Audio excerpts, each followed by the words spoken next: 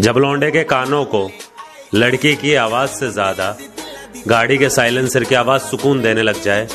तो समझ लेना, उसके अंदर का आशिक तो मर चुका है और राइडर की एंट्री हो चुकी है।